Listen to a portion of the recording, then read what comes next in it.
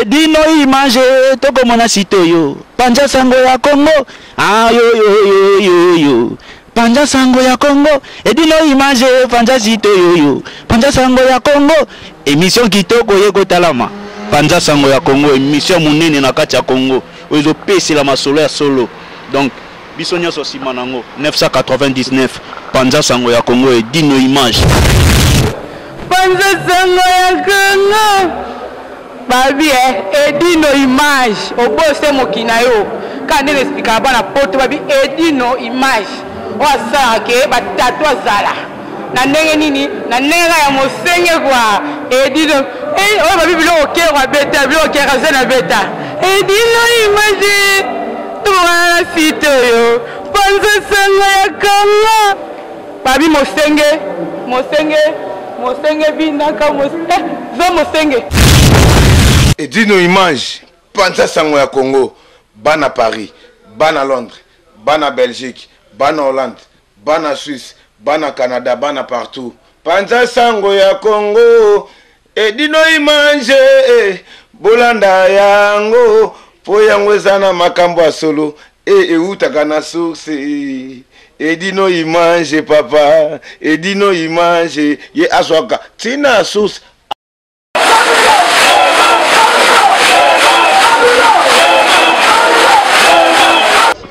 peuple congolais botelema botelema boboma hippolyte kanambe alias kabila tufi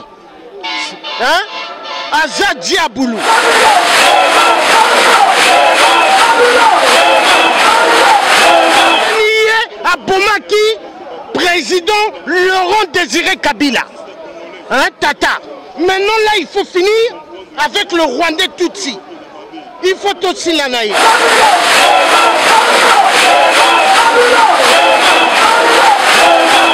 yoka esi defa wakima kishasa mpo na nini akima kishasa mpo na yo kabila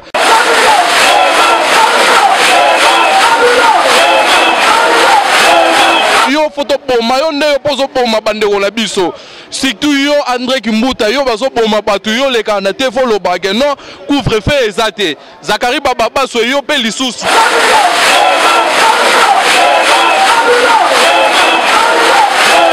Kabila, na lancer ka message pona yo papa. Oyebi trop c'est trop 2006 au tricher, 2011 au tricher. Ozo moni sikoyo olakisi na face du monde que tous les élections nyonso osali au tricher. Mais olingi kokende te papa, olingi nini? Ozo massacrer peuple congolais, ozo lingo diriger ba nani? Aéroport, yo Boshab, nga nakoluka bana no pars, nakoluka famille na yo moko moko moko moko. na kosa charge na yo merci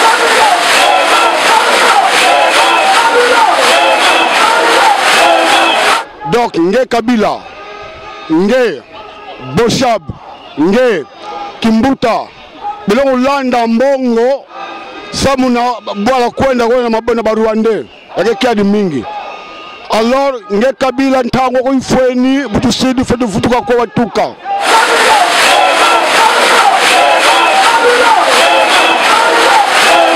Tozo kosenga na peuple congolais on n'a plus besoin des ennemis nous avons besoin d'unification maintenant toza na besoin ya moto nyonso oyo aza congolais du sang azala ensemble na peuple tozala ensemble mpo tolibere République démocratique du Congo, Hippolyte Kanambe alias Joseph Kabila akende.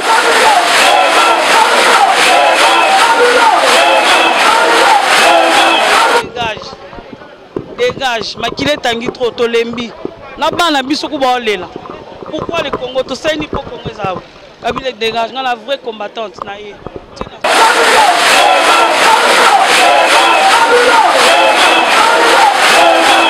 Kabila Raïs Kabange président de la République en tout cas papa il y a un temps pour tout temps ekoki lelo so ba congolais ba kufa eza na mutu na yo eza na mutu na yo donc ba congolais tout ba kufa eza na mutu na yo donc bosolola qu'à pouvoir Balé Koki, ça c'est...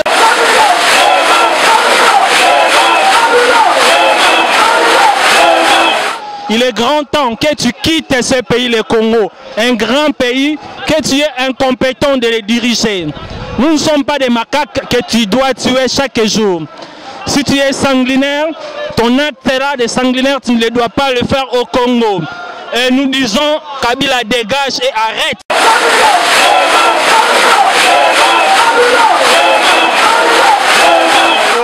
Togolais oyo Kofi oyo aye na distraction na kati na biso na ntango oyo bana kongo batelemi mpo na babundela mabele na bango yo kofi togole olingi oya sikoyo na distraction na yo ndenge oza wana olobi boye kofi oza mwana mauvais temps batogole baza bana mauvais temps barwandais basi baye kofi ake kozwa noko na ye mpo baya kozwa birichese ya, ya congo bakei nango kofi obomi papa wemba mpo na yo okoma mokonzi ya musicien nyonso soki okanisa kokoma numero 1 eza yo te numero 1 eza fali congolais 100 pourcent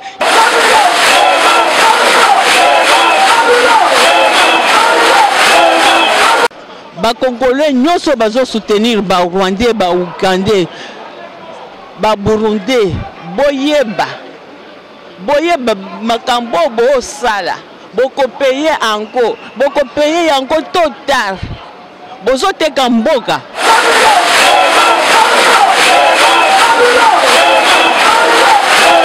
Pona liloba nini ezali pona koloba pona kofi. Ndeko na ngai eya mawa mingi papa kofi akofi wapi na HLM te. papa kofi akofi na hlm mama na bana na hlm mama na asalaka take nozwa ba rsa mama ne cancer ebele na elongi kofi mama no oza na mbongo papa longo na mama no cancer mama no cancer ebele na elongi tozo promettre yo lelo nde toloba bona pokwa ndako nde ozolala na blan mine na bana na mwasi na yo tokobeta bango na moma oyo ezalaki moma kutu te totanga nkombo na yo parce que tozopesa yo neti mwa valeur moko boye mais makambo yo osali lokola ozokota makambo oyo Yebaka yango frère tozo tala makambo na okana yo tozo landela ngo. Yo oza na leçon leçon morale te euh, oko pesa ba congolais. Ozo pesa ba congolais ba fanda. Nani ba banani bazo euh, euh, influencer euh, gouvernement wana. Ozo faire partie. Mais Kofi toyoki yo. Mais zela suite no ekoya après. Ndenge yo sali ndenge wana tozo kende blame nil. Tozo kende ko luka Okoyoka ngo tokotindelo va video wana okomona ngo.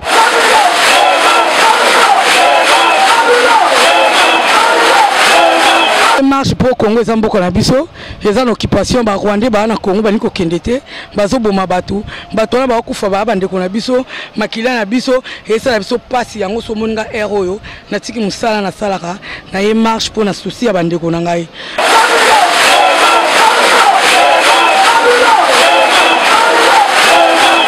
il faut kabila alongwa ye nde amemi bompiaka na mboka le pays est vraiment dans une situation terrible il faut qu'il parte quoi qu'il arrive il faut que kabila alongwa tokoki na moto wana lisusu te Il faut à tozongisa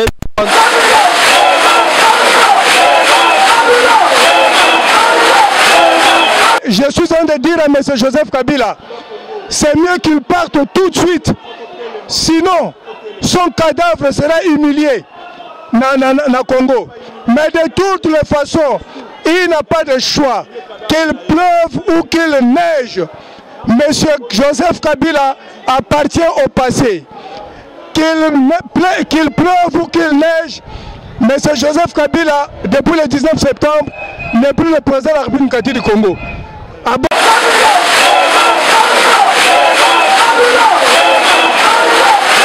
Kanachien, Kanambe, dis-toi bien, vouloir ou pas, on va te faire dégager. Tu des problèmes avec la communauté internationale, nous on habite ici. Tous les jeunes, on est contre toi. Tu vas voir, tu vas verser tes sangs.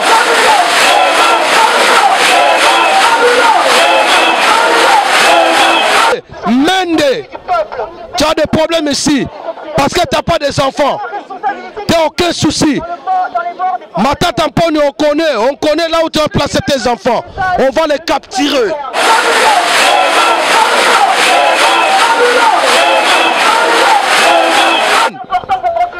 Kanyama, on connaît, ton fils il habite à Lille. Aujourd'hui soir, tu vas attendre sa nouvelle, sa nouvelle, sa mauvaise nouvelle. Tu vas l'attendre.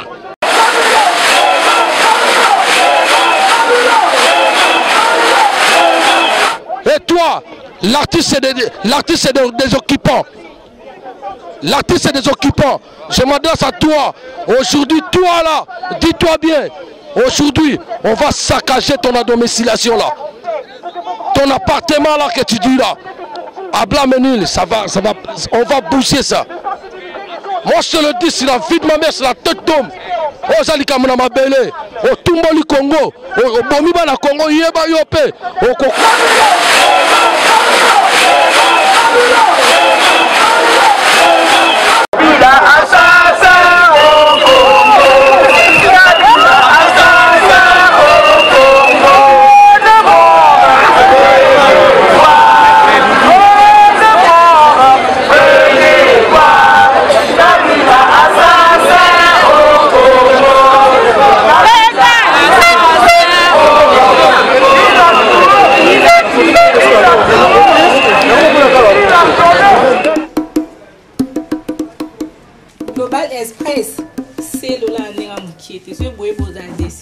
donc boya ebele na kati ya global chitunga wo global express la agence los angolanos para enviar las cosas en barco en aviones en toda angola global express en paris mesi congo yi agence eto global express yina ku france paris metro château rouge agence eto mofilisa zikoli zikwendela mu avion zikwendela mpe mu bateau mu masuwa zicarton donc yina ku metro château rouge ku paris global express eza mpo na bino eza mpo na biso Eza pona ba congolais nionso tout oyo baza na France pe na ba oyo baza na étranger.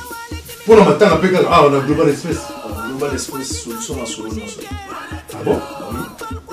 Donc tosala matanga, tozuka ya lycée, oyo komona biso tokoyede yo pona ba réaliser prestation funéraire nionso na niveau ya Kinshasa.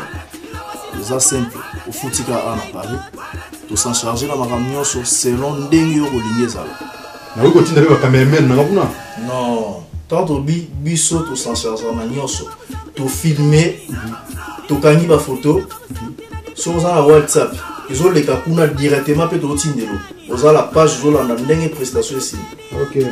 à la fin de compte oyo kozwa dvd na yo omona ndenge makambo nyonso elekaki global express bozala na niveau mosusu ah non batika bino tout d'abord baéquipement na biso nyonso eza ya poto oyo tosalelaka prestation funéraire na biso eza ya poto ewuta na france tozala na france tosala biloko ya baprofessionnel enterrement na afrique mais neti ya poto kobanda place bakoexpose corps na place bakoenterre différence ya te bonjour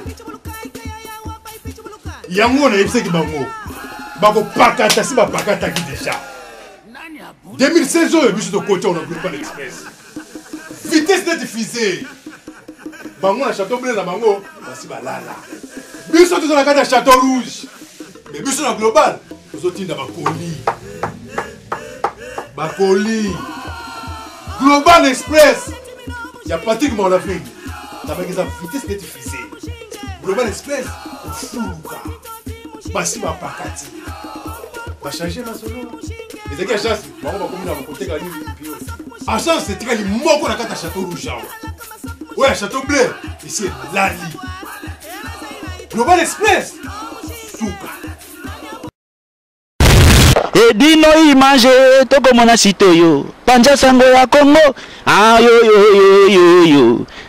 Panza sango ya Congo et bino image panza site oyo yo panza sango ya Congo emission kitoko ye kotalama panza sango ya Congo emission munene na kati ya Congo oyo ezo pesela masolo ya solo donc biso nionso sima na ngo 999 panza sango ya Congo et dino image panza sango ya Congo Balobi eh edino image oboyi se moki na yo kaka nde na esplikaka bana poto babi edino image oyo asalaka ke ba tatou azala na ndenge nini na ndenge kaka ya mosenge kwa edino eh oyo babi biloko kerwa beta biloko kerwa ze na beta edino image tobongana na site oyo panza sango ya kanga Pabi mosenge mosenge mosenge binaka mosenge eh, zo mosenge edino image panza sango ya congo bana paris bana londres bana belgique bana hollande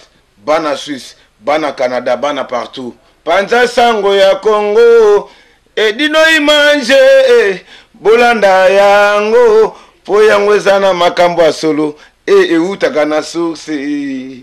Edino image papa, edino image ye azwaka tina source